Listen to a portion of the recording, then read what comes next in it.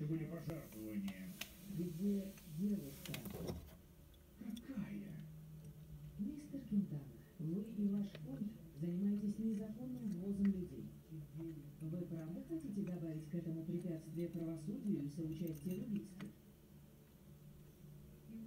Как насчет намека прессе на связь с убийством Кана Веги? Напишут не